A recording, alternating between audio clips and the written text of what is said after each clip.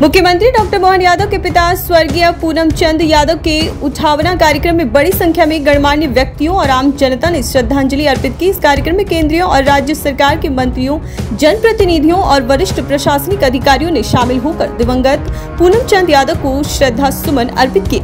मुख्यमंत्री डॉक्टर मोहन यादव और उनके परिवार ने इस भावुक अवसर पर सभी का धन्यवाद किया। श्रद्धांजलि देने वालों में केंद्रीय मंत्री सावित्री ठाकुर, सामाजिक न्याय मंत्री डॉक्टर वीरेंद्र कुमार, तकनीकी शिक्षा मंत्री गौतम टेटवाल, उच्च शिक्षा मंत्री इंदर सिंह परमार, महिला एवं बाल विकास मंत्री निर्मला भूरिया, जल संसाधन मंत्री तुलसीराम सिलावट और कई अन्य प्रमुख नाम शामिल हैं।